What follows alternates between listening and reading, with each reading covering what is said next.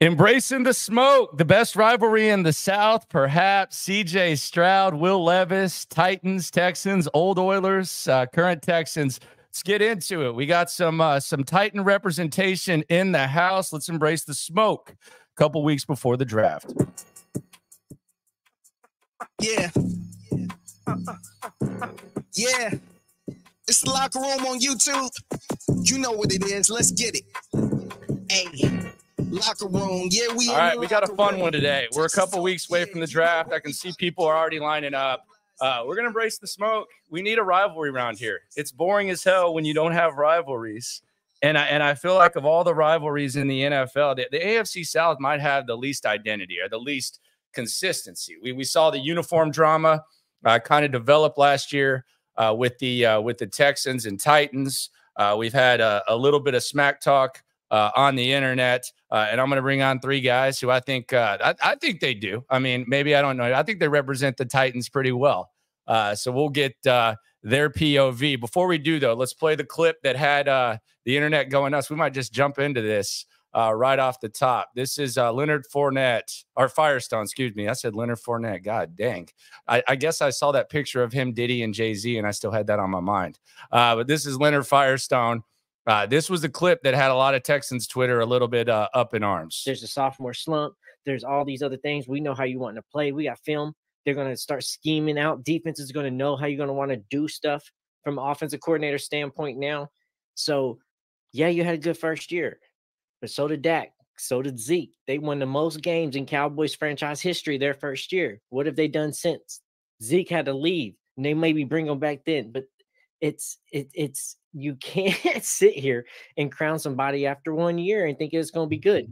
You can't because this next year we're, we're defenses are going to come for you. Oh, you you did all this stuff. You don't think defensive players remember when they almost had you in a sack and you got away and you ran away and you didn't you made a play on them and they keep showing it all off seasons on a highlight reel. Oh, mm-hmm. ain't gonna happen to me again. I promise you, I'm getting you down this time. This people are studying. There's uh, yeah, and there were people upset about that. Here is uh, Leonard Firestone with, uh, we got Morocco T and we got yes, sir. podcast representing enemy lines, fellas. Uh, how y'all doing? Man, doing good. Honored to be here, man. Glad to talk some Titans football, talk some Texans trash, and man, just just hit all avenues, man. We excited.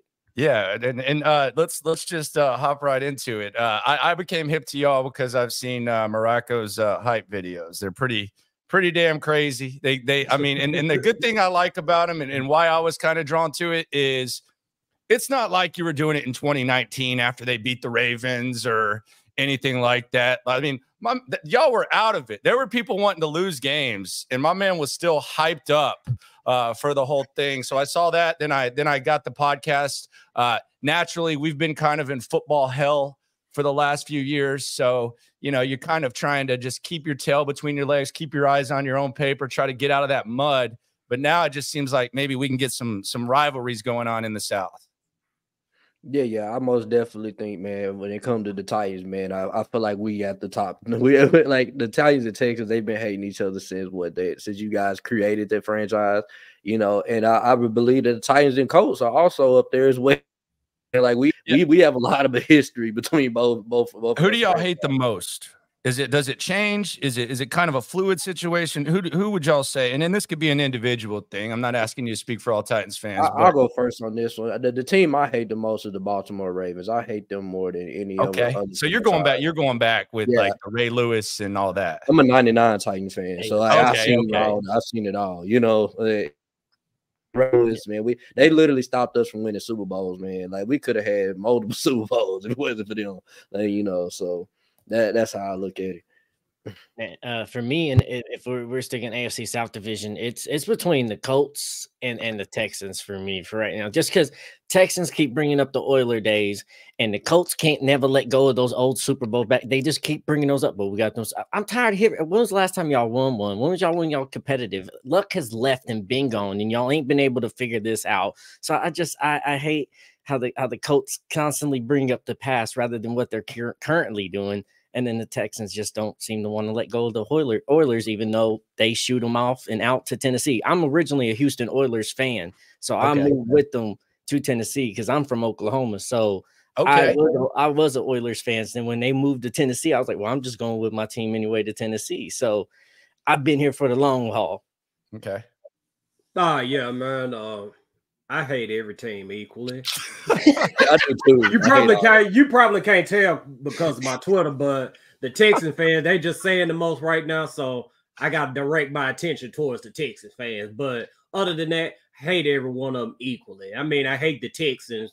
I mean, it's self-explanatory. It's the Texans. You know everything that's involved with that right there.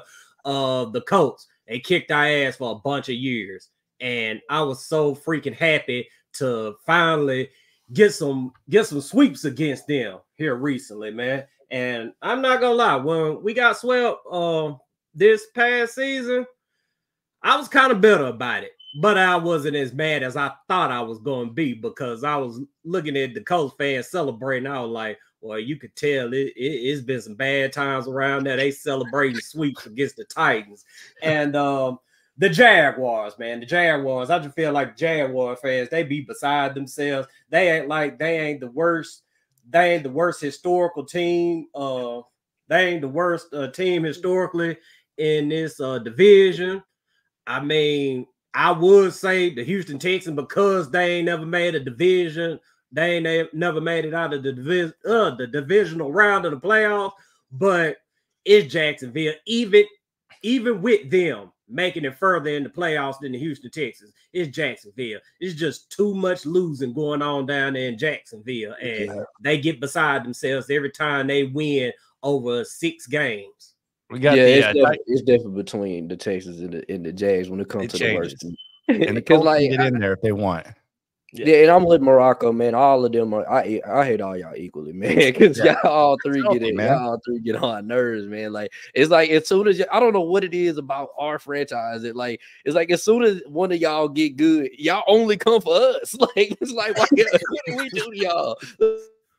Well, I mean, you took you took the football team for one. I mean, that that would be that would be the first. I mean, I, I mean, we could start there and then we can work Yeah. down. I would say, Oh, you Uh, pushed them away, and Tennessee just welcomed them with open arms.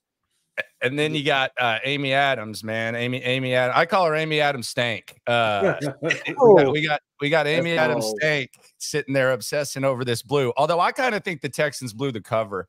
Um, they're gonna release the uniforms in like 13 days. I saw them. Um, that I, feel like they kind of blew the cover on the blue thing. If they would have just kind of gone a little bit under the radar, then maybe they could have could have gotten a little smoother in there. But I, I know you guys. I, I, I'm actually intrigued to hear what y'all say about the uniforms, for sure. Oh, okay, so y'all y'all y'all must be whipping out the baby blue. you know what I'm saying? Uh, hey, we'll see. I can't. I- we had to. They made us like sign NDAs. It was stupid. Oh, But okay, uh, okay. John McClain, who's big like con- Ti- Titans connection, he went on and right after he saw it, he was like, "Oh, these uniforms are lovely." I saw. saw. 'em. I was like, "Dude, why are you saying anything if you can't say anything?" So yeah, they're gonna release them in 13 days. So we'll see. I So will let's get say in. though, I, I'm Yeah, not go a huge fan of those ones that I seen. Those little ones that got leaked. Them little The white ones, they're they're better than the other ones. They're all right. They're okay. They're. I mean, they're not. They're not like awesome. They're, they're they're a little bit better, I guess, than the original. I mean, they damn sure didn't look good in that model. I don't know what that model was doing. Uh, the kickers would have been giving him wedgies. I, I don't know what the hell yeah, that was that looked like somebody they got off JV.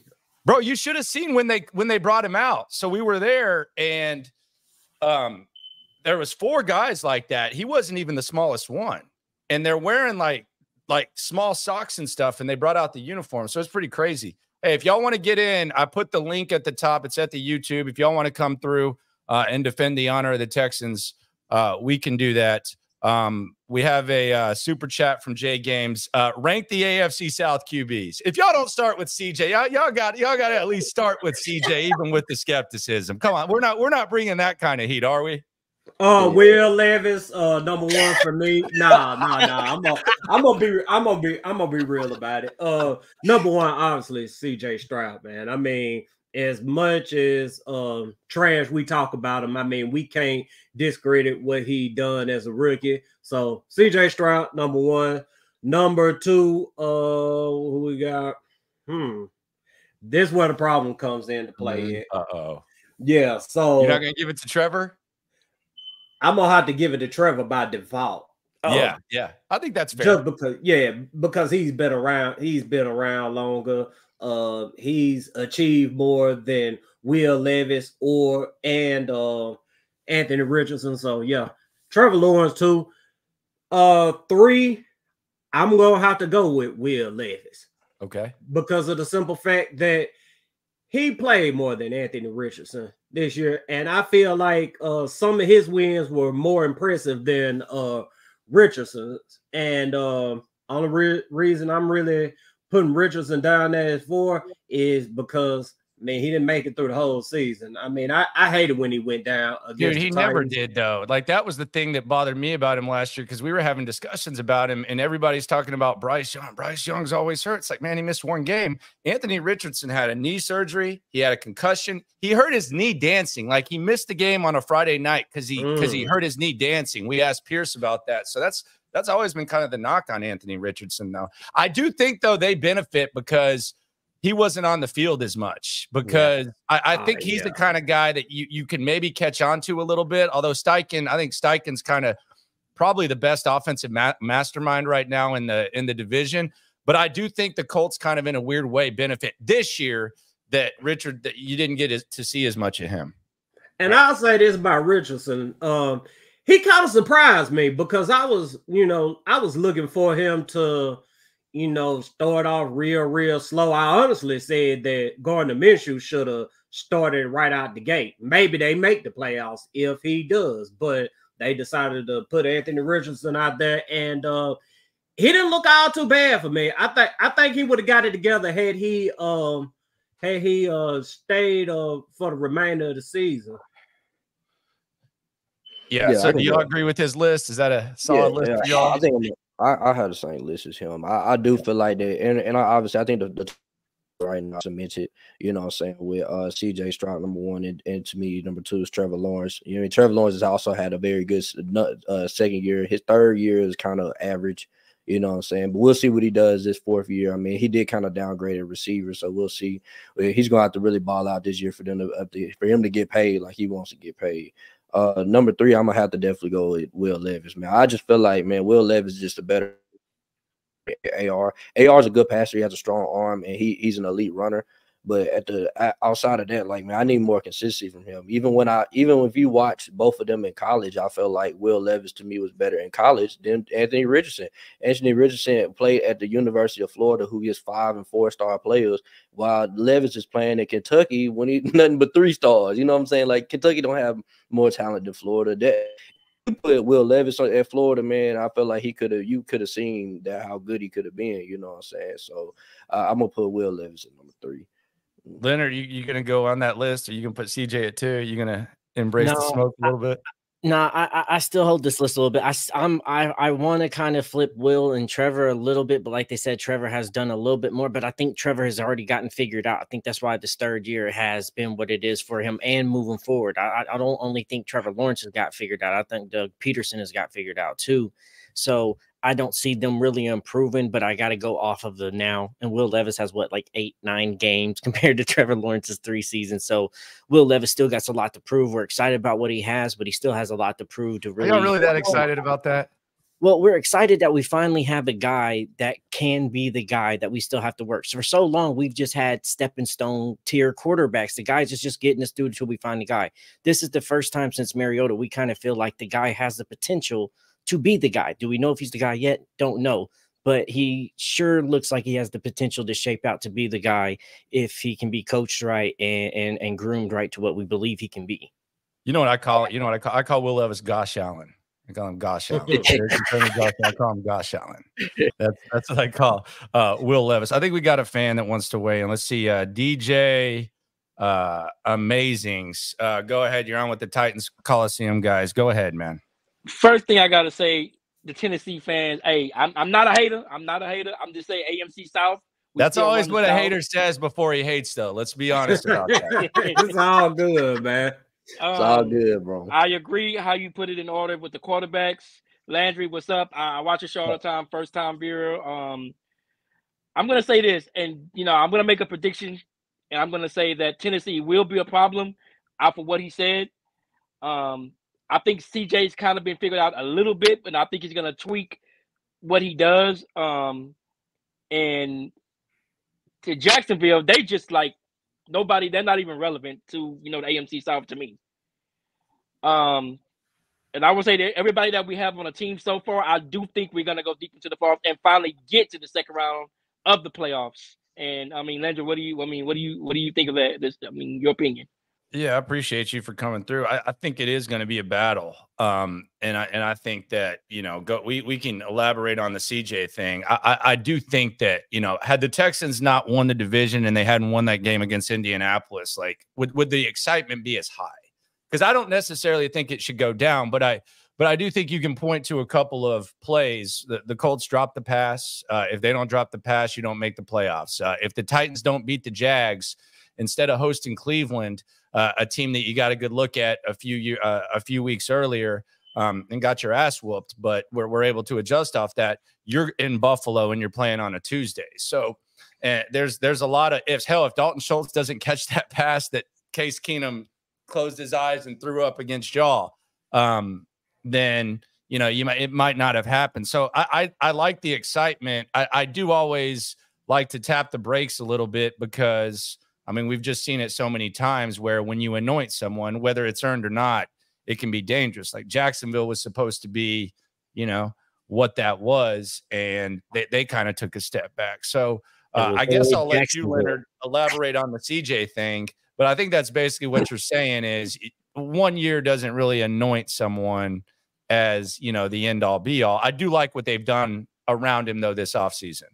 Yeah, yeah. I, I, can agree with that. I agree with that. And, and you know what I'm saying? Look, you and the Texas fans, they done this off season. This has been an A plus off season for y'all. You know what I'm saying? And I understand the hype. You know what I'm saying? I understand it. Y'all want to talk y'all trash. Y'all want to do, do say this, that, and the other. But just be mindful that CJ, we, we really didn't have film on him like that for us to to stop what he does. Now, will I say that he's just gonna fall off a cliff? He's gonna throw uh, 20 interceptions? You no, but 23 and five, like you know what I'm saying. That hard for him to replicate that. Now he may throw more TDs, but I do think that he's to throw a little bit more interceptions because defense are to have tape on what he does. You know what I'm saying? More so than you know what I'm saying than, than him just falling off a cliff. I just think he's going to throw a little bit more picks than what he had last year. You know. Yeah, last year, like there's so many, there's so many variables to what the Texan success was last year for me, and it's not that it can't be duplicated, but that's the question now: can you duplicate it? A lot of people can do one years. We've seen it. Jacksonville went out there and did it. Then it was oh, oh, it's always been Jacksonville. It's it's always no, it wasn't. Y'all showed up one year, then y'all disappeared like everybody thought y'all was gonna do. It ain't never been y'all. Y'all never show up. So it's not just getting hype over one year. New head coach, new new QB, new offensive coordinator. Nobody knows what you're really really going to do, and that's what I'm kind of optimistic about the Titans this year. Yeah, you've seen Will Levis, but Will Levis has a little bit of film out there. New head coach, new defensive coordinator, new entire scheme of everything. We can catch some people off guard. Texans caught some guys off guard last year, and that's on their fault for playing. You never ever think that you're going to win a game based off what a team did the year before. You had a second place schedule that made it a little bit easier, but now you got a harder schedule this year. Now you got tape, not good tape, preseason, regular season, postseason tape on a guy that is new that took everybody by storm. They're going to study that because they know that you're going to have to go through Houston at some point in time and play them. You're going to see CJ. So it's just can he do it next year? Can you take the next step? Because we saw in that playoffs, once you get a little pressure on CJ, he starts to not make the right decision. So is he going to turn that page and improve next year? That's the big question for me. And I, will say this though, Landry, and this is just for all the Texas fans that's in this in this chat. About to play the Josh Allen's, you're about to play the Lamar Jacksons, the the Patrick Mahomes. You're gonna so you're gonna be able to look at the, what CJ is against them. You know what I'm saying? You get to see that. Like we got to see that with Ryan Tannehill and Derrick Henry back in the day. You know when we had when we were playing first place schedules and we overcame all that. We beat we beat the Chiefs, we beat the Bills. You know what I'm saying? So we we I want to see what you guys do against the, the the best quarterbacks in this conference, and you guys will be this season. You know what I'm saying with that with that first place schedule, man. First place schedule is tough, man. I think you got uh do you who y'all play the Cowboys? Who who won the? Uh, I think we playing the NFC East. Yeah, you got you got the yeah. you got the Cowboys, you got the Ravens. Uh, mm. You got the Bills. Uh, and I think yeah, we no, we play the AS, the NFC North, but we play one team from the NFC East, and yeah. wherever you finish there, guys. We play the uh the Commanders. So Got the Lions. Yeah, it's it's a it's a tough ass schedule for sure. Uh, they want y'all to rank the uh, AFC South head coaches. Head coaches. Um, well, I mean, it's kind of it's kind of like the quarterback situation, man. It, it's damn near si- similar to it. So I mean, we're gonna have to go DeMeco Ryans number one, man. Even though this was his rookie season, he came in just like CJ Stroud and had a hell of a rookie season. And um, number two, Doug Pederson. I mean, shoot, man, the man that won a Super Bowl with Nick Foles. I mean, that's all I need to say right there.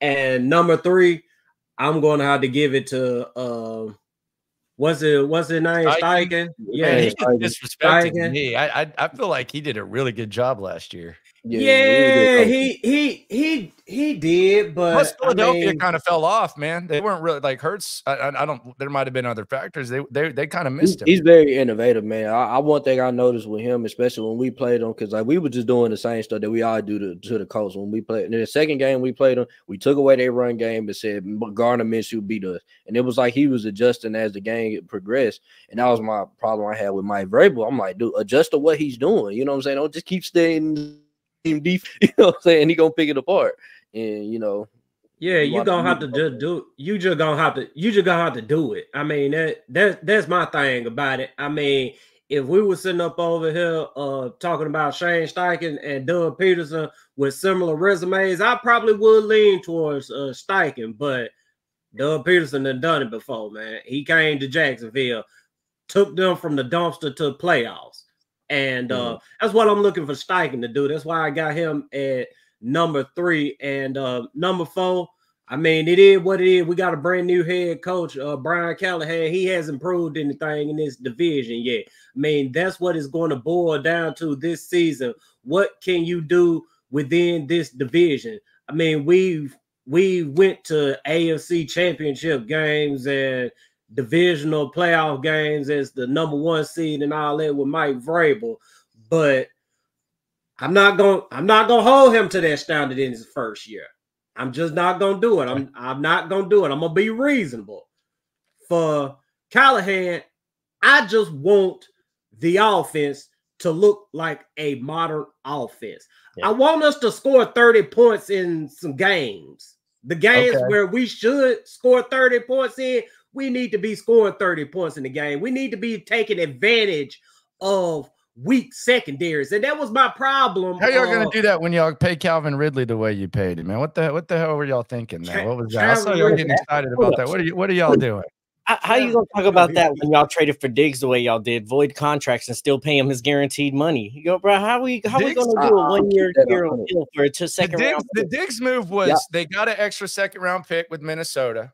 They traded back 19 spots. They got their second, and then they they basically took out a house loan for Diggs. They didn't like trade. They still have as many draft picks. Uh, but I would rather have Diggs for one year than make Calvin Ridley the sixth highest paid receiver in the league. You don't think Come so? on, with guys. performed? I can't support that. It's Come on. free agency, Yeah, though. I- I, I mean, mean, you're I- gonna I have to overpay. 25. Hey, You're gonna have to overpay old at and my plus first start. two. Everybody, everybody overpaid because you guys definitely overpaid for Azeez Al-Shaair, bro. Like, come on, Yeah. bro. Like, okay. Now here we go. This is what I linebacker, want, this is what I want to hear right here. This is this overpaid for question. that, Uh, are y'all going to miss Autry or, or Al-Shaair more? Uh, Autry. Easily, Yeah. Autry. Yeah. Yeah, Autry. Al-Shaair is good, but he he's not Autry, man. Autry, that dude had what eleven sacks. Yeah. I'm gonna replace that in year one. Year one, we can we can man. Come on, man. You look at the So Tennessee you don't like. Shaair? I like Shaair, but as a Tennessee Titan fan, I've been a fan since '99, bro. We've never had bad linebacker play, bro. we never since Keith Bulluck to Al-Shaair, man. Our linebackers always been good, bro. And Shaair was here one year. Autry was here multiple years, doing work for us multiple years, being that guy there for us. So that's going to hurt a little bit more rather than, yeah, we want to share to stay there and, and come around with you, uh, uh, what he's done for the Titans. But Did you- Yeah. did you go out? Uh, yeah, Glaive out. you, you there? Okay. Yeah. cool, Yeah, you cool, dove cool. out a little bit. Um, the the GM when you hear him talk about uh Autry, I've never heard. I, I you almost had to leave a damn tie on the door uh when he when he talked about him. This this was Caserio. I actually happened to have this on the uh on the roadcaster. Just, just listen to this. This have y'all ever heard Caserio talk? Y'all y'all familiar? It's kind of boring guy. Yeah, little Patriot bit. guy. Listen, listen to him talking about Autry. I don't know what's going on here. Um, I would say specific to Denico. I mean, this guy's a badass. I mean, this guy's a junkyard dog. Like, if you go into a dark alley, like you want this guy behind you. Like, this is a bad mf'er. I mean, and a really good football player who cares about football. And, and we've had to play against him over the last couple of years, and you know, Tennessee, and then he was in Indianapolis. But you know, glad he's on our side, and you know, we're excited about um, what potentially he could bring to our front. Yeah, pretty excited about that. Uh, Yeah, damn, I I, I can't believe y'all. We got to go back to this Ridley thing. I'm, I'm not going to let you deflect by taking shots at at at, at, at Shaair. Come on. And how much did you Ridley pay thing- Hunter? If Jacksonville would have done that, y'all would have been roasting their ass for that contract with with Ridley. I feel like y'all also liked it because Jack y'all y'all kind of swooped in on Jacksonville. Yeah, Same I thing think that's the, uh, we paid thing. extra. We we overpaid to take him from Jacksonville. That that's I feel like that we knew we were going to make the Jags worse, and we are Yeah. going to get better. You know what I'm saying? It was one of those. You know, uh, that's what we paid for. And, Okay. and Ridley came out and he did perform good out last year, you know, and he performed good with Trevor Lawrence in that Jags offense, like still a thousand yard receiver, still the guy that came out and has good football, and then still a guy everybody's like he's 29, but he don't have two seasons of football on his body neither, so he's not a true 29 year old. So he has all the Oh, knowledge. you're doing it too. You're you're, you're doing what he knowledge, did. So it's good because of yes, we gave them the same contract that Jacksonville offered them. We had the same exact offers on the table, and he chose us over Jacksonville. So that that helps with this thing a little bit why he's here. But we we have D Hop, but we have Calvin Ridley now. Those are two guys that are absolutely uh, made our wide receiver room better than we've ever had in many, many, many years of a wide receiver room. So now I am excited about having Calvin Ridley. We, I, we paid a little bit over, but you do for free agency. I mean, how much did y'all pay Hunter? And that dude stays injured all the time too. So Two years, man. Two years, 48. Uh, I'm gonna be real though. I, I like David Long more than I like David Long and Jayon Brown more than I like Azeez, man. Oh, yeah. Yeah, I mean, I'm being being real, bro.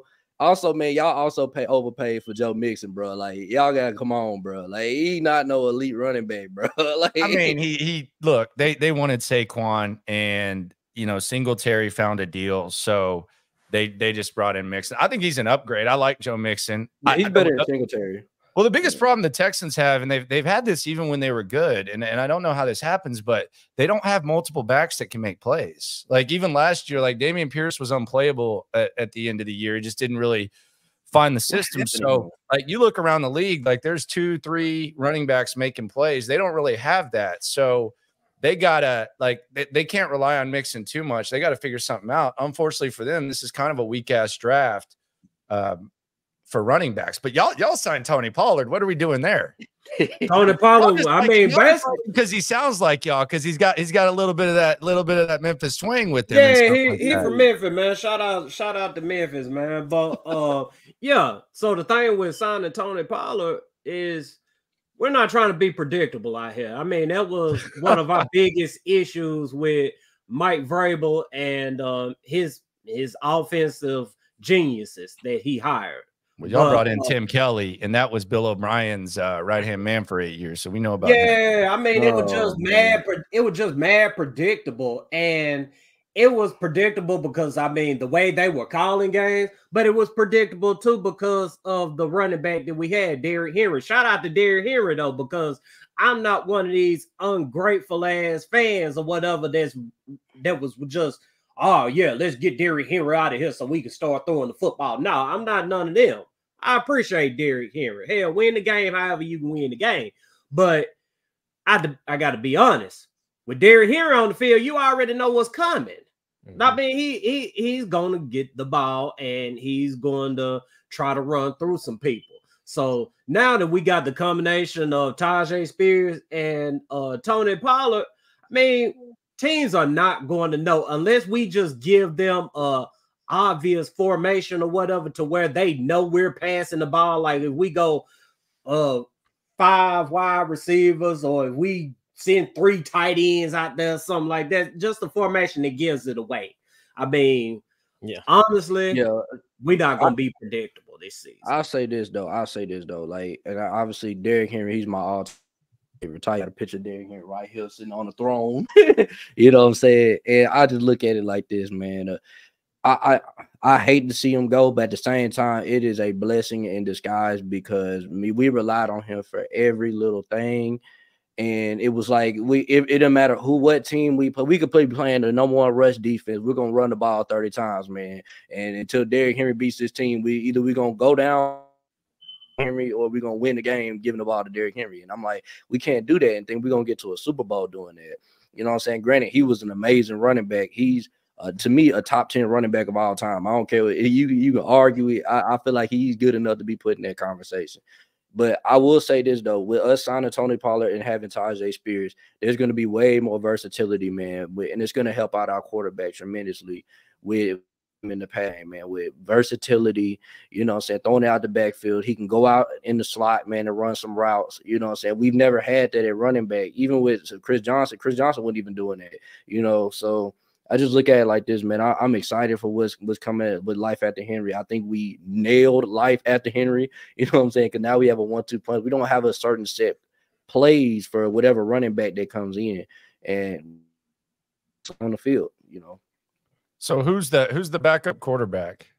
Backup Mason quarterback Rudolph. Mason Rudolph. Okay, there you go. So he's gonna start what, like ten games, like eleven. No, no, when's Levis getting? When's uh, Levis getting? 10? Probably. He probably gonna uh start as many games as um we uh what's the other guy's name? I done forgot him all. Davis Mills. nah, uh the Titans quarterback, man. Uh golly, Malik Willis, man. Good God. Uh, what's he up that's, to? What's that's a sad situation, man. That's a sad situation. I mean, I wish him the best, but I mean it, it's just obvious that it, it's not gonna work for him. Maybe he can go somewhere to where they can um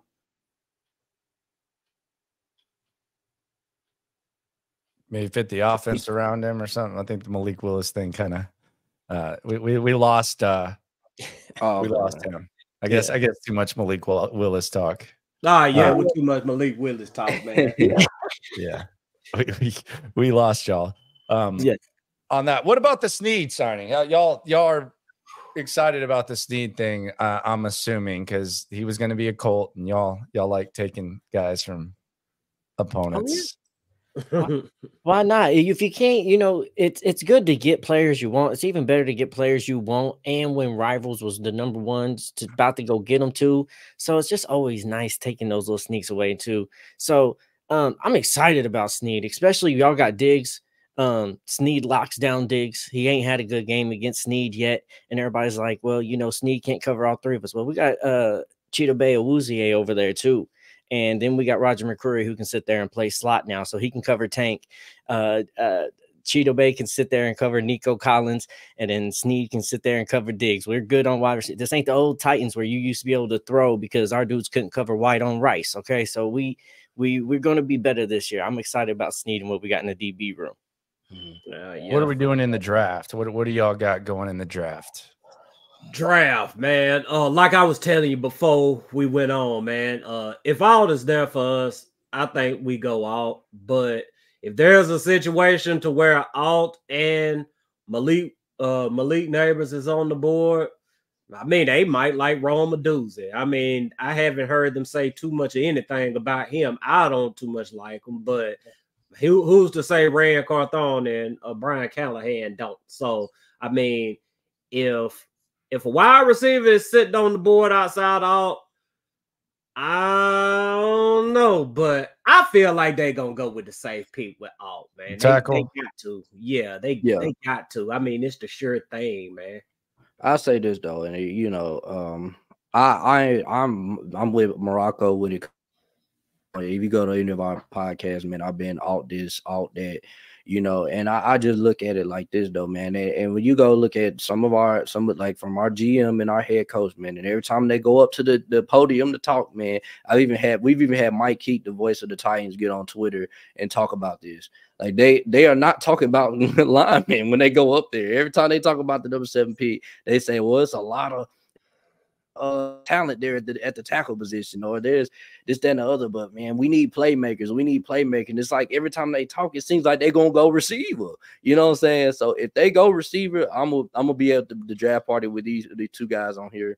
Okay. And I'm gonna be, I'm gonna be, hype, I'm gonna be happy. I'm gonna be happy whatever they do, man, because I, I just feel like there is, it's so many places we can go because there's gonna be so many quarterbacks going ahead of us. See, our Now- draft party's day two, so we're having ours Friday. I'm, I'm hosting, we're hosting one for this Yes, stream. wow. We got a we got a bar that uh, on Saturday, like kind of a reflect and enjoy type of joint going on on Saturday. But the actual Texans draft party, they they moved it to Friday because there's no first round picks. So they Yeah. traded back. to Hey, at least y'all ain't got to worry about work Saturday morning. Well, most of y'all anyway.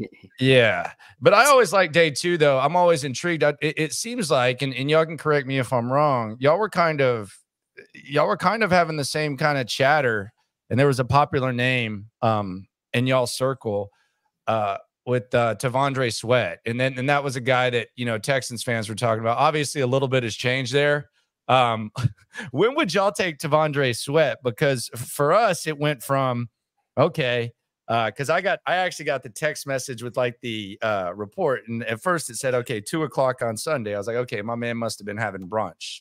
Then it got discovered, okay, he got booked at two o'clock. He actually got arrested at four, and I was like, okay, well, all right, maybe that's a little bit you know more traditional. Then it comes out that he's kind of a partier and all this type of stuff, and then it comes out that Mm. the damn car flipped. So it's I I don't know how to look at it because I always try to I always try to sympathize with young men that are 22 years old and you have that on one hand you say 20 days before the draft the guy got busted what an idiot blah blah blah yada yada yada but you could also say you know this is so low that maybe this is where it snaps for him when would y'all take sweat and, and is it is it accurate that he was like a popular name in the second round you want to take that five star? Yeah, I really think he was a first round grade coming into this before all this this happened. How he was performing, how he's playing, man, he was definitely a first round grade. Looked really well. We was excited about him. Like, hey, hey, if he's there in the second round, we're picking early in the second round. If he's there, we got to get it. Replace Autry with him. This is a guy we've been really high on. But now with these coming out, with the, the the incident happening, and then all these rumors or his personality and conduct that's come into question, it's like, man, this this guy might be a third or fourth rounder. You can't really, you really can't take a risk on that guy, especially in a draft class like this that have so many other guys that don't have character issues, that don't have stunts like this happening. And you've already seen some players that are rookies happen this in the league with with Rashee Rice having issues this offseason. Um, uh, uh, what's the guy out there um in, in Baltimore? Um, how rookie guy Flowers, Flowers, Flowers out there had his incident. So you don't really want to bring in any too much extra noise in a in a sports locker room where there's already so much media, especially if you're a big market too. And for us as Titans, you don't want to touch them too early because we already just had the I, Isaiah Wilson shit not too long ago that still haunts Oh, Titans fans. So we don't want to deal dude, with that that again. dude was something else. Yeah, so Oh, you know Lord. it oh, has to be a third or fourth. what did he do on the boat what was it when he was in trouble What- I, I don't remember it was like strippers or something right Y'all can strippers talk and about cash it. He done done so much foolishness, man. I done forgot about a lot of it. I mean, before I think it was either before or during uh his rookie training camp. He had uh went to a TSU uh party or something. that's right he jumped out of the window. building or something right Yeah, it was it, it was something crazy, man. And uh like Firestone said, man, uh, for a team like us, we don't need to touch anything like that anytime soon for multiple reasons. Now, what if it's the fourth round though? Because this is what I came up because I could see him round, I could I could deal with the fourth round, but second round with the Titans, I mean, we don't even know the first round moves. Say they do go wide receiver in the first round, then in the second round, we most definitely have to address. No, y'all got to hit on that line. second round pick because y'all took a trash quarterback last year to start off the second round. So y'all got to y'all got to recover from that. Y'all got to recover from hoping. Josh Allen, man. You Y'all- can't have too many of those. Y'all hoping y'all saw that arm. Y'all saw him throwing them deep Hey. balls with a flick of the wrist. Ain't even thrown his body into those throws yet. You don't even know how. Maybe y'all consider Bo ball. Nix or something there. Maybe Bo Nix slides to Nah, you. nah, nah. You know what it is, man. We can't wait to see y'all face when y'all find out that uh, your quarterback is CJ Prescott, man. That's exactly what we can't, we can't wait. They have done a good job. all these weapons, man, just so we can show y'all. He, they they have done a good job of surrounding CJ though. They- I, th- I still think they need some more weapons, but they have done a good job of uh, surrounding CJ. I, th- I think they need they need to attack the offense uh, for sure. But it'll be it'll be uh, interesting. So who's the popular name like second round? Do y'all even? I mean, y'all are got a focused on the first dude. round right now, huh? There's a lot, we- man. we- Like we- I've seen somebody say Darius Robinson. I mean, I've I've heard Chris Braswell. I've heard you know Troy Franklin. I've heard Franklin's David nice, man. Franklin's Yeah. nice. Yeah, with Ladd McConkey, you know what I'm saying? I done seen we done seen all type every receiver that can go second round. AD Mitchell, you know what I'm saying? All the all these guys, man. Keon Coleman, Xavier know, Legette uh, might be there. I mean, it, it, yeah, it, David Legette, it's so- yeah. I'm honestly leaning towards uh, Braden Fiske, man. I've been watching him here Yeah. lately, man, and uh, we need to, we need to replace Autry. I mean, Big Jeff, man, he he gonna need some help on that defensive line, and um, I just think I just think our fellow Titan fans they need to be prepared for anything in the draft. I mean, there's a lot of them that's so sold on us getting a wide receiver or getting an offensive lineman. You need to have an open mind to this thing, man, because I mean we could go multiple directions. Yeah, uh, I I just don't know about the QB. That's kind of my thing, and I don't I, I don't. We really don't know about the coach either, and that's that's kind of like that's not even a bad thing, you know. Like it could we don't we don't know uh, what he is or isn't. Like I think if you had Shane Steichen working with the quarterback, you'd be like, okay, you feel good about that, but we we don't know about the coach. What was that like? Um, Vrabel gets dropped. Uh, Amy Adams Strunk says y'all want to get out in front of the uh, in front of the search, and then y'all y'all end up with Taylor. Was was Taylor the popular name at the time? Where where were we leaning there? Oh, with Taylor- Callahan. Callahan. Callahan. Okay, so y'all are all in on him. Well, it, it it at least so far, like listening to their press conference, at least for me, listening to him and listening to Dennard Wilson, and especially today, like they had a press conference and Nick Holz, man, Nick Holz won me over today to the way he was talking about offense and how schemes and how we're going to do certain things. Uh, it's definitely a lot better than feeling like, okay, we're just going to run Henry 30, 40 times a damn game and, and hope that he breaks out a bunch of runs and, and saves us in the end. So it's like, okay, this feels like new style. This feels like it's going to be more entertaining. It feels like this is going to be more air raid type offense. So, yes, so far we're sold on, but it, it- it's easy to sell us now. We we still want to see you execute it. It's easy to say these things and you communicate well, you talk football well. Now let's see how the players actually take it in and transition that onto the field. The best thing you got though, one of them, and I, I don't know how good of a head coach he's going to be, but you got one of the best offensive line coaches of all time.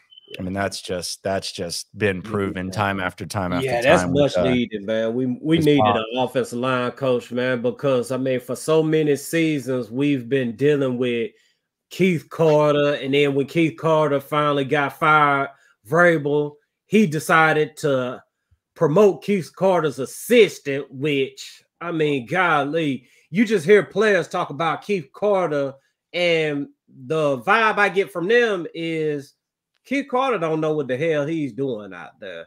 And Vrabel goes and promotes his assistant. What you think the assistant is going to do? So I think um by us having Bill Callahan in the building, a much respected offensive line coach, I mean, that's going to make things better for us right off the bat. You got a real teacher in the building. Yeah, he's the best for sure. Uh, Jacob Hyatt says that Will Levis is the next Jeff George. Uh, Oh, so- he said five dollars. that's an insult to Jeff George. That was my dad's one of my dad's favorite quarterbacks. That, man. Yeah, That's man, an that insult- was that's an insult to for a terrible George. take, man. I'll say this about I Will mean, Levis. waste of money. Not just play.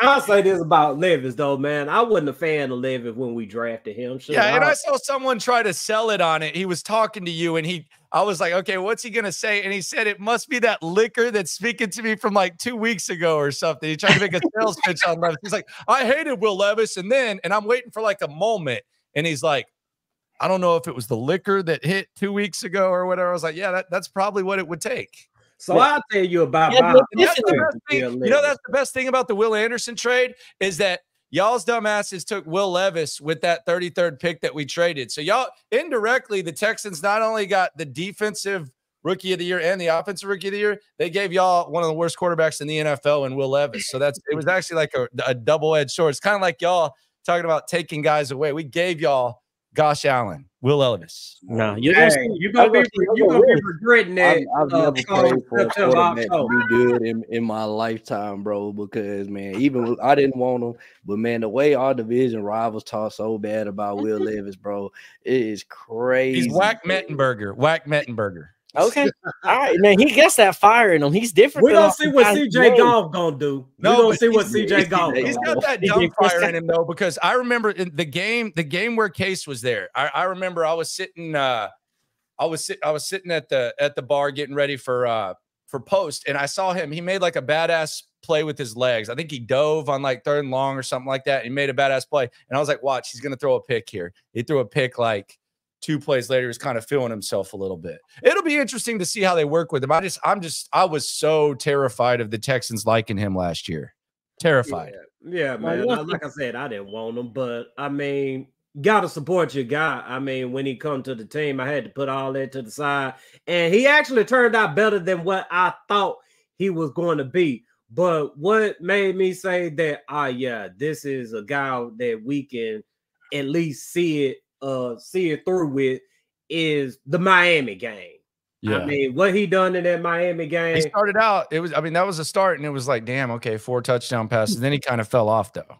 Yeah, yeah, yeah. I mean, he, he did even in the Pittsburgh game. I mean, he he he looked good in the Pittsburgh game. I mean, he took a beating and he still kept us in the game. So, I mean, with these weapons uh that we got right now, man, I, I'm really looking for him to make a make a significant jump.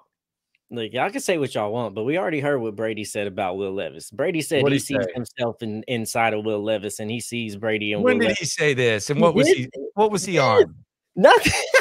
Was he on like, like a no, car man, he didn't say that about Aaron CJ Rodgers. Cook. We're not talking Aaron Rodgers and alopecia or you know that stuff or whatever he was. What did he? What did? When did Brady say this? He said that when he was coming into the draft. He's like, "This is a guy that doesn't get a lot of credit and a lot of." And he was that was that at else." Mark Rubin's party when they were when they were doing who knows what. No, definitely not. No, it was on a podcast. I can't remember what podcast is. I, I'll pull it up. I'll have to find it for you. But Okay, yeah, okay, so yeah. Do y'all think. Brady's going to be a good uh, announcer?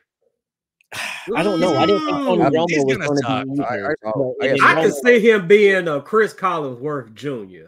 Okay, Dang, not Junior. And with Damn. yeah, Chris Collinsworth Jr. And I and I rock with Brady, man. He my goat, but uh I think he's I don't think everybody's. he's go- yeah, I I, like don't how think Morocco gonna- made that sound like that was like a unique opinion. Brady's my. I goat. mean, he my he my goat. I mean, I can't say Like he's the next man Derrick goat was because the some people running look at the That was fact like, that okay, that's a take right there. yeah, Brady's some the goat. people look at the fact that you know he had Bill Belichick with him, and you know the tuck rule and all this old foolishness or whatever, man. But I respect Brady. So where are we uh I, I want to play a little game with y'all because y'all can y'all can talk crap about the the Texans. So the, the the game I want to play is I'm gonna go around the room and y'all tell me why why you think the Texans suck. Why do the Texans we're gonna go around the AFC South. Why do the Texans suck? We'll go we'll go clockwise. Uh we'll, we'll start with you, Leonard. Why do the Texans suck? Uh, y'all's know, ain't y'all's owner's name Steve Steve what uh, McNair? Ain't that what Cal- it is? Cal McNair. Yeah, that's why. Because that the dude is still around. He still makes bad decisions. He still don't run everything. The Deshaun Watson fumble, the DeAndre Hopkins trade fumble. There's so many things. It's just it's the same reason why I don't have faith in Jacksonville. The head don't know what the hell it's doing. So everything that trickles down from the head just starts to fall off at some point, and it looks good for like a year or two, but it don't last. So until until ownership changes for me, I don't I don't see Jacksonville or Houston as getting anything on the right path. Oh God, Amy Adams Strunk, man. Hey, she's making moves, she's making bold, and at least changing and adapting rather than being just like her dad.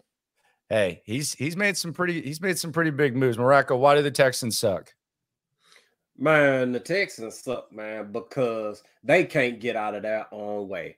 Man, like I mentioned, man, at some point you got to make it out of the divisional round of the playoffs, bro. Like y'all keep on going to the second round of the playoffs and getting knocked off by legitimate quarterbacks. And every time y'all go against a backup quarterback in the playoffs, you don't have no problem with them. So the Texans suck because they can't make it out of the second round of the playoffs. Maybe if the if the playoffs were filled full of backups, the Texans could win some Super Bowls. RJ, why do the Texans suck? Mm, nah, y'all suck because man, it's like, what have y'all done? what have y'all done to be to be talking the way that y'all talk, man? You know, and I look at it like this, man. hey, sooner or later, man, y'all y'all gotta realize that you guys are our little brother, man. And Oh, come on, little brother. Come on, man. You don't even you can't even say that with a straight face. y'all little brother, man. It is what it is, man. Y'all have little brother syndrome, man. As soon as y'all Oh, beat my up, y'all celebrate like y'all win the Super Bowl, man. Uh, Young Costa says Will Levis going to the Super Bowl this year. Uh, once he buys a ticket, happy sweeping. Now, see, there's the, the- the. Uh-huh. Y'all did lose to Case Keenum though. I mean, Hey, that, Will that had to have been that was that that had to be the ghost of Case Keenum. It didn't surprise me. Our pass defense was just so horrible last year. We had guys that was just delusional in their coverage that couldn't be honest with themselves when they were having bad games and once say they was playing technically sound football. We had a guy that was just playing out of position. That's just he's just not long enough to be trying to play number one and number two wide receivers. He needs to be solidified to that slot position. So our pass defense was just horrible, atrocious last year. But this year, I can't stress this enough to these Texans fans because they think it's still a Mike Vrabel team this is a completely different type of tech, uh, Tennessee Titans team that you're going to see that you probably never seen before. And we're going to catch a lot of people off guard because you're so used to the old ways. And what's about to happen is going to be nothing like what the old ways used to be like. Go back to Gosh Allen. Why did the Colts suck? Man, Colts suck because they can't get out of the past. They still stuck on Peyton Manning era days, and they can't. Like most of y'all that are Colts fans talking shit right now didn't even see the damn Super Bowl, and y'all still talking shit about the Super Bowl. So I, that's that's why I just do something now. Do something now rather than holding on to the past. Man, the Colts suck because Jim Irsay is the owner of the team and Chris Ballard is the GM. I take it live. Okay, that was short and sweet. Uh, And what, what can I say about the old ponies, man? They- I mean, they all they, bro, they're so annoying, bro. Like they fans are just so stuck in the past, bro. They don't want to admit that they they franchise really don't care about winning the. Like he he don't he don't he's not even aggressive to try to win the Super Bowl right now. That lets me know that they that they're delu- that their fan base is delusional. They they all they whenever they lose an argument, they they they bring up the Super Bowl ring. Like bro, y'all trash, bro. Let's be real, bro. Y'all trash, bro. Y'all It is interesting. They're just kind of and Drew Lock. sitting back. Everyone's spending money. They're just kind of sitting back. I don't know what's going on there. Uh, why did the Jags suck? Oh, because they always think they running something that they ain't running. They're they're like if if the Texans are our little See, brothers. this is bonding because I think Texans fans are agreeing with y'all on this on Jags. The Jags is kind of an eye roll around here. Yeah, so if Texans is our little brothers, our, our damn the Jaguars got to be our step cousins that keep coming around to try to hang out. It's like, bro, you're not really a part. Like, would you just get away? You making us look bad every time you come around and you show up. I, I just every they they don't form articulate uh arguments when it comes to football and when you try to talk football with them they don't it doesn't even sound like they know their team they'll be talking about stuff like when did that even happen so they're not even informed on their team they're just like talking shit and it's so aggravating for a team that has sucked so many years and ain't won this South, but what two times? They won the AFC South two times the whole time they've been here. So it's aggravating. Yeah. Yeah, the Jags suck because they pop up like Jeepers Creepers. I mean, they sleep for 25 years and then they come out for one season and just dominate everything, and then they go right back into hiding for another 25 years. I love that Yeah. reference. I love that one. They, they really are the cicadas though, bro. I ain't gonna lie, man. They they gone. You don't see them for a long time, bro. and then they just pop up out the ground. Like where the hell did the Jags come from? My thing with the Jags is this because y'all talk y'all talk about CJ and, and and I mean I think the the overall thought is you know you can't crown someone after one year, but the the thing about CJ that I've said is, and and Jags fans have to be honest with themselves. If if I feel about CJ the way Jags fans feel about Trevor Lawrence two years from now, that sucks. Like that's that sucks because Trevor Lawrence is closer to I think he's closer to like Dak Prescott, and that might actually be an insult to Dak Prescott than he than he than he'll ever be to like the Burrows and the Allens uh, and stuff like that. So that's that's the thing with the Jags. If when they drafted Trevor Lawrence, you would have told them that they'd be feeling this way three years from now, I, I think they would be very disappointed. Yeah, because you you expected like how everything was shaping out in the division. Oh, they were doing a montage of Elway and Andrew Luck, and eh, they, they were doing like a montage of the best quarterbacks as he was drafted, literally. Yeah, no, it, it, it's we all kind of like this this this year. We kind of expected, all right, Jags should be the one team that has everything together. They got their QB, they got their coach that's been there. Those other three guys were Vrabel's kind of on a hot seat. We brought in Will Levis. We don't know who our QB is. Colts got a rookie. Uh, Texans got a rookie, and then just you slowly keep watching Jags just like not be what the hell they were supposed to be. And you're like, this was supposed to be y'all's year. Everybody's trying to rebuild and fix and retool shit, and y'all couldn't win the division when the other three teams are kind of in a rebuild. So I don't know what they're going to do with Trevor Lawrence over there. He, I don't know if coaching or, or what, but he ain't panning out to be what the uh, Jaguars hoped he would be. Yeah, they're going to end up in another Blake Bortles situ- situation to where they're going to have to sign him to a contract where yeah. they can get out of it super early. I mean, that's how bad it is with the Jaguars and Trevor Lawrence. And I actually saw this a uh, couple years back, man. I mean, when I look at Tre- Trevor Lawrence, I mean, I I look at a guy who's good when he's good and he's really bad when yeah. he's really bad. That I'm, playoff dub, that playoff dub, that was the worst performance I've ever seen in a half of football. And I watched Brian Hoyer against the Chiefs uh, get his. I mean, he, he had a concussion and he played, and he was and Trevor Lawrence threw four interceptions, and then they had the comeback with Staley, and then he yeah. had like yeah. against anybody else, they wouldn't even pull that off. But we already know how the Chargers roll. I mean, they the biggest choke artists in history. They're going to be nice though. I think they're a big threat. I, I, I think they're a threat. I like too. them hardball. I, I don't yeah, they could be with hardball. I mean, they do need to put the ball on the ground some more, man, because the Chargers, we don't watch the Chargers for so many years, try to air the ball out, and then in the process, the defense go get the points right back up, and before you know it, they in a shootout and they've been and choked the game away. So yeah, maybe they do need to run the football a whole lot more.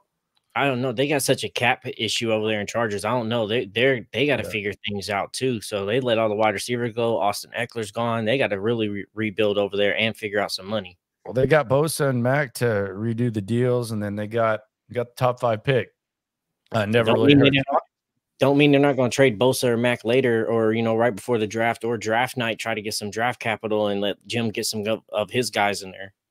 Yeah, he's uh he wins though, man. Three NFC championship appearances in the Super Bowl in four years. Pretty wild. All right. So we saved the uh the most polarizing hot button thing for last. Up with these Oilers uniforms, man? Y'all don't give a rat's ass about Oilers uniforms. What what are we doing with these Oilers uniforms? They're, they're, that does not mean a damn thing to any of y'all. What what is it? Is it just as simple as you just like to make people in Houston mad with the Oilers uniforms?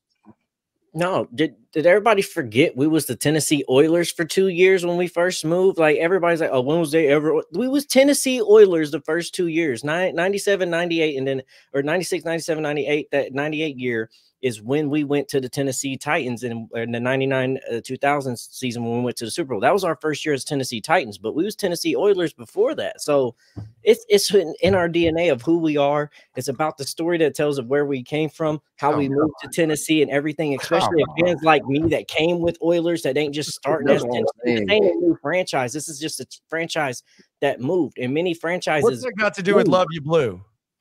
Love Your Blue was 70s, 80s. Okay, that, she did. She did. Y'all gave all that away, though.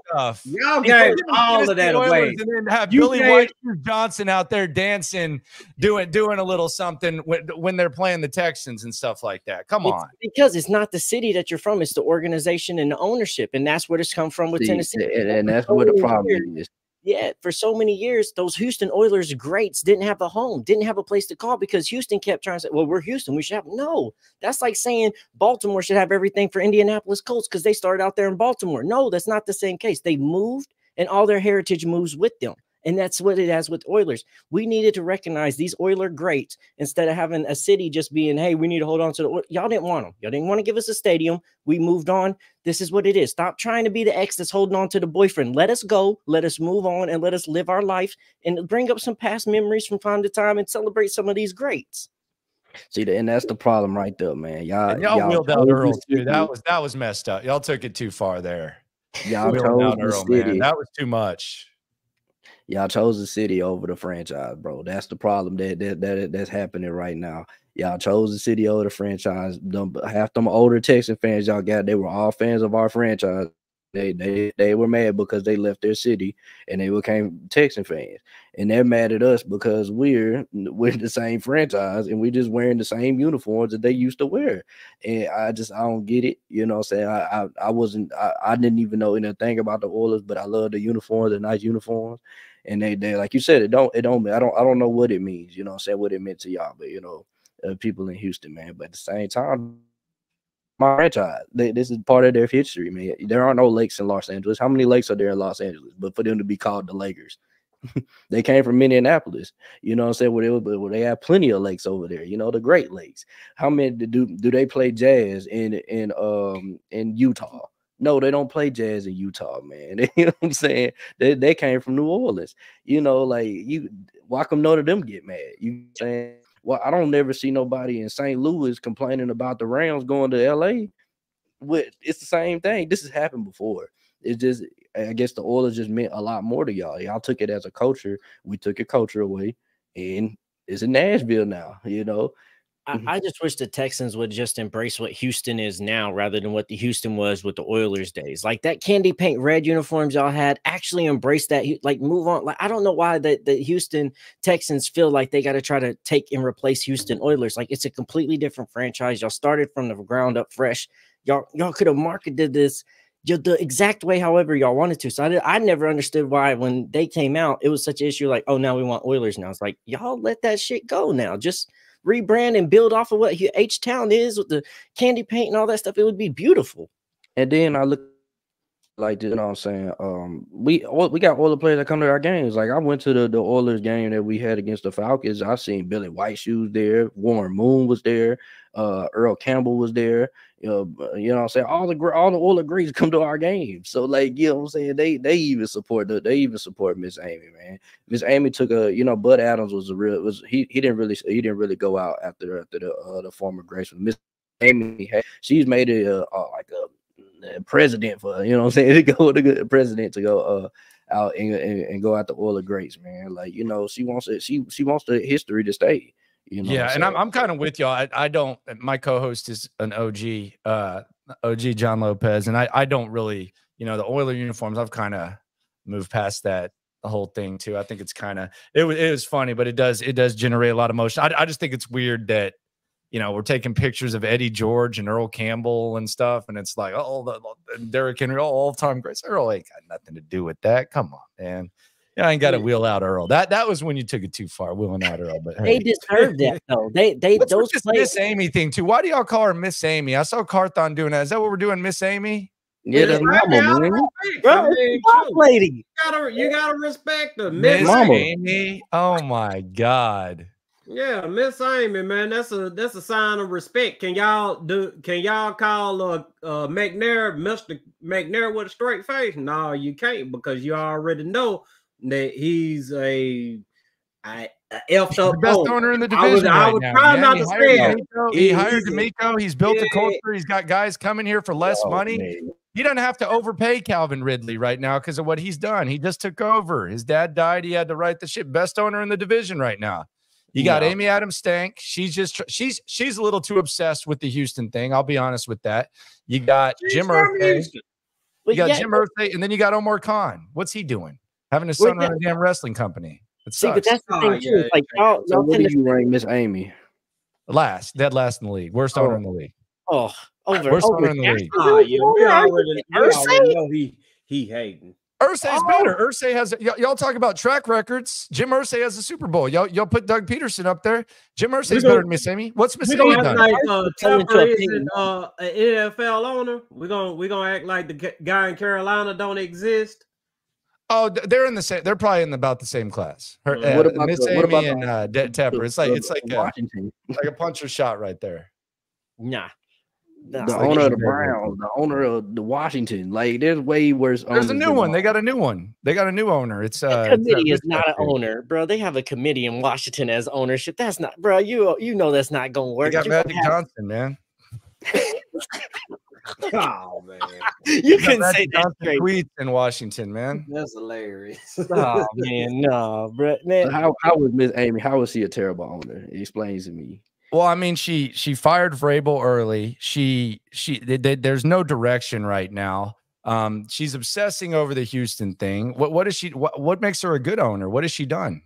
So you say that? there's there's no not direction. division How do you how do you say there's no Because I thought y'all were going to rebuild after y'all got rid of Vrabel, and now you, y- y'all are actually running like the Washington, uh, the like the Dan Snyder. Like I, I almost feel like Dan Snyder sold the team, and then he he's kind of like calling the shots there. Like y'all are spending a lot of money in free agency on expensive free agents. You thought you were gonna. I, I was like, man, they're gonna rebuild. This might be something, and then it's like they're going all in with Will Levis. It it does. It feels kind of Washington-y.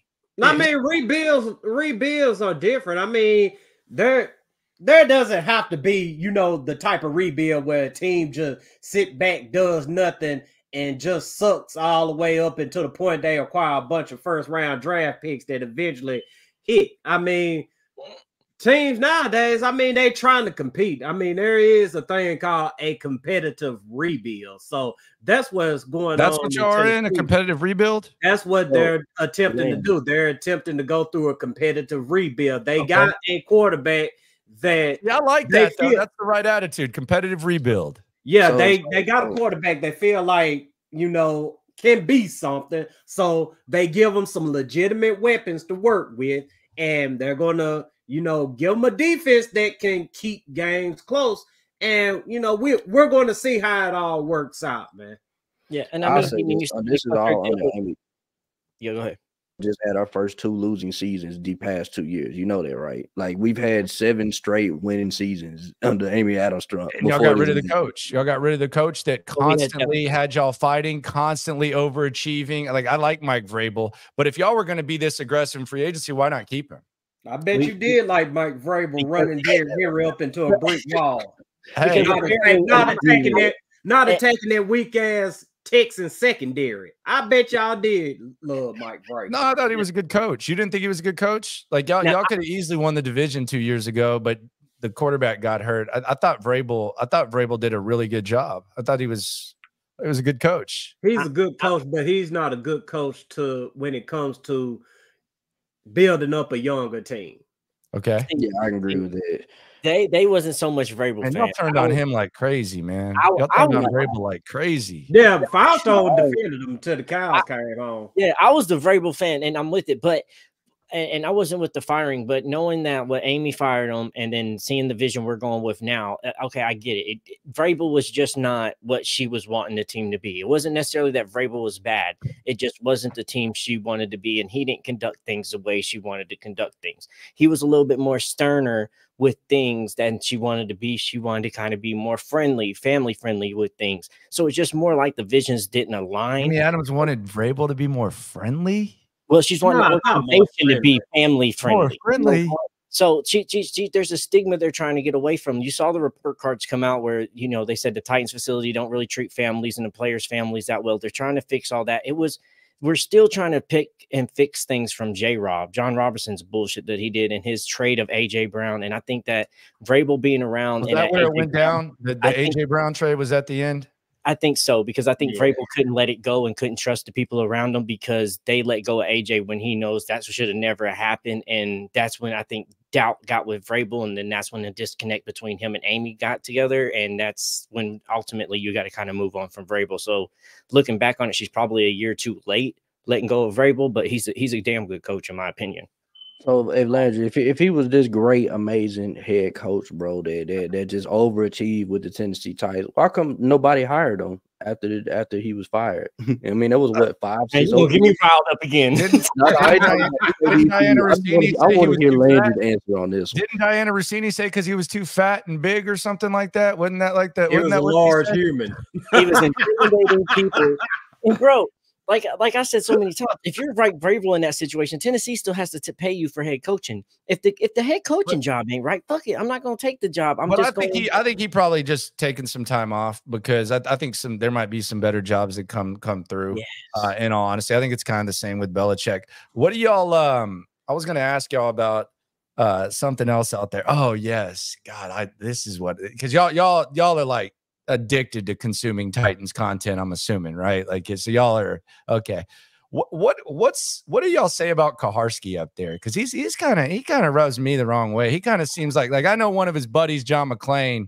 Kuharsky just kind of strikes me as a grumpy ass curmudgeon. Like what what is go what what is the verdict on Kuharsky up there? I respectfully say that PK is toxic. Okay. And like I said, I say that in a respectful way because Because he the has thing about respect, PK. but a lot of times guys that get that good, they become turdish when they've been doing it for 40 years. Like he's been he's been that. But the thing about PK is okay, there has been times that he has been the voice of reason. And you know, when Titans fans, we get on one sometimes. We get to freaking about freaking out about the craziest things. And there has been times where PK then tried to talk some people off the ledge. But there's a lot of times where there's absolutely nothing going on, and here come PK with something out of nowhere nobody gives a damn about. He's raising hell about it and going to these press conferences. He's asking questions about it. Clearly, the guys at the press conference, they not trying to hear that. And he goes right back to his hole and complains about it. Yeah. PK loves the ruffle feathers. That's that's his thing. He just loves it. You ever been in the crowd and seen those things where like somebody just throws a chair and everybody's trying to figure out who threw the chair? PK is the Morgan guy. that- Wallen, man. Morgan Wallen, right? Three felonies, I think. Oh, threw it yeah. off the threw a damn 20 pound chair three feet Yes. from the cops. So it's Yeah. Morgan Wallen and PK. They're the ones throwing those chairs. It's just like it's too quiet. Let's just ruffle up some shit real quick, and they just toss a chair every once in a while just to Is that- that's kind of like comparing CJ to Dak. I compare it to like say comparing CJ to Dak. we can talk about that if you want to, Hey, man. that's, I mean, hey, you know, Cut- Yeah, let, let's talk about uh CJ Goff or CJ Prescott. Oh, CJ Goff now. Whichever That one was you actually prefer. one of the comparisons coming out though. Like in all in all in all seriousness, that was kind of uh, one of the names that did come up uh, with CJ. I'll be honest with y'all about CJ, and and I'm I'm just I I was Bryce or bust. Like I was I was ticked off they lost that um game. Uh, and and the craziest thing about it is, in hindsight, you, you you hear some people say, "Well, that was the luckiest thing that ever happened." Is it lucky, or if C- they knew CJ was this good, then that should then they should have definitely thrown the game. Like if you knew CJ was this good, then you definitely should have thrown the game, uh, and taken him. But I mean, so, sometimes it just happens like that. Sometimes you get uh, you you luck into something. Now now how good is it going to be? Who knows? But yeah, so but but you you don't you don't believe this CJ Goff thing. You you can't you can't really think that. No, I mean, shoot, there. I, I think CJ does well within the system. I mean, Man, we can go around the table on CJ, man. What- what Yeah. system? This is the new. This is a completely new system, though. hey, it's not a it's From what It's it a was new at Ohio system. State. it's a new system for this Texans team right here. I mean, the Texans have been in that uh, Shanahan system before, and we've That was a long time ago. We were in y'all. it don't matter. We were, It, we were it don't matter. The system Texans last have been in it before, so y'all recognize the system. Y'all seen what the system is. Shoot, Matt Schaub went out there and threw for what forty five hundred yards in this system before, or whatever. I mean, Jared Goff threw for four thousand yards or so. Most Look at what Leonard is bringing season. here. Like, what, is what, no what is this? man. Look at this. This man. This Tua man brought a graphic. Tua. yeah, I What mean, are yeah, we- I what mean, are- it what is are we it doing here, I mean, man? you can you can look at the numbers. The numbers are right there for you. Now, I will say that completion uh percentage or whatnot, CJ threw the ball more. So Mhm. yeah, the percentage is going to be on the lower side. But I mean, I'm you just just saying. got to look at their impact in the on, game. man. You got to look at their impact in the numbers. game, their rookie seasons. Y'all, I mean, y'all I feel crazy, like man. I feel like CJ Stroud was impacting the game the same way Dak Prescott was impacting the Look, game. Man, he didn't have Hey, Zeke hey, Elliott. He didn't CJ have no. He didn't have a run game like like Zeke Elliott. it They didn't have an matter, though. offensive line that they. He that, had that- legitimate They missed two games, but they don't want to talk about how uh he played an extra game more than that though. And they don't want to talk about and- that. Though. Yeah, it's an extra week, and Dak didn't play that last year. So actually, they played the They same. playing 16 games. games. Yep, they both played 16 games, and this Oh this is the, the ratio both- for you. They So both y'all just y'all just gonna roll with the year, this till till till the games have y'all y'all got y'all got and they probably both like went five more the months. division. When you do see, y'all- I'm saying they, they're And I will say this- this, and I will say this as well. If the Texans had a legitimate run game, those numbers would not look like that for CJ Stroud because they would have been running the ball more. And it does it won't it wouldn't take away from you know what he accomplished. I'm just saying, you looking at this 4108, it wouldn't have been that 4108 had the Texans had This a legitimate is run sad. game. This is sad by y'all. This is sad. I, di- I didn't. I didn't it's know not that. That's, the, the that's the numbers. Numbers don't lie. I'm just Yeah, saying. they can Bro, lie. you- you Numbers gotta can lie. Come bro. on. They they both Come play 15 games. They, Hey, but be honest. now- When when Josh Allen su- uh, or when uh when Will Levis sucks, y'all are gonna call him Gosh Allen. Like that's that's coming. Y'all don't even have to credit me. Y'all can take it. Y'all No, can no. ha- y'all have my permission. Nah, But as soon as he goes out there, call him ML. That's hey, all I'm Gosh Allen, you're fine. You can go with it. I'm It's okay when when CJ starts man, messing they with you, call him numbers. CJ Prescott. Man, you can't y'all- deny the numbers, man. Even coming out of college, man, they was they was they said his pro comparison is Dak Prescott. Like they even we even got we we got a video. Somebody Yeah. said This I ain't, mean, don't know this I don't ain't know if you seen brand it. new though.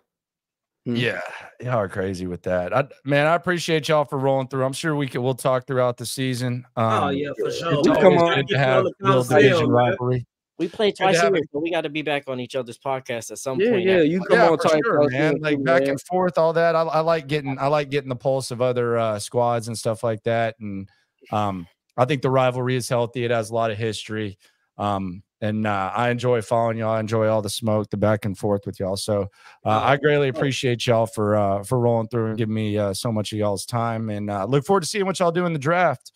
Um, could get really interesting that seven spot, whether y'all just go with the tackle or the the wide receiver. And then on day two, y'all could uh kill some of the hopes here. So it'll be really fun, man.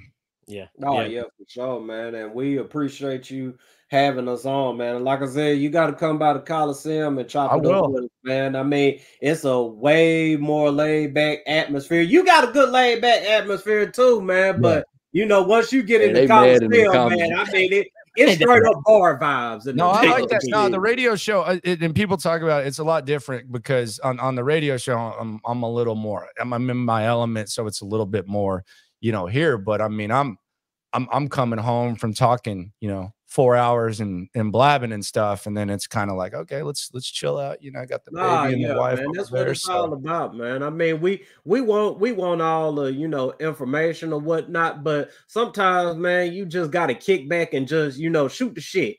talk ball, man. Don't try to be Yeah, don't try to make yourself the smartest guy in the room. Don't try to I mean just just try to balance it out and stuff, you know? Like it's not I don't know when this happened where everybody started trying to like talk about like just try to talk about like, you know, DVOA and all that. Like, okay, like, yeah, bro, stay in your everyone- I ain't trying to lane, man. that. That's what I tell people, man. Stay in your lane. I mean, it ain't that freaking serious. I mean, honestly, Landry, I mean, you getting paid to talk ball or whatever, but I mean, even with even with this space right here, I mean, shoot, a part of you, you you don't want to, you know, be in a professional mode all No. day every day, man. No. You you want to, you know, come home, sit back, you know what I'm saying, kick your feet up and just talk your talk.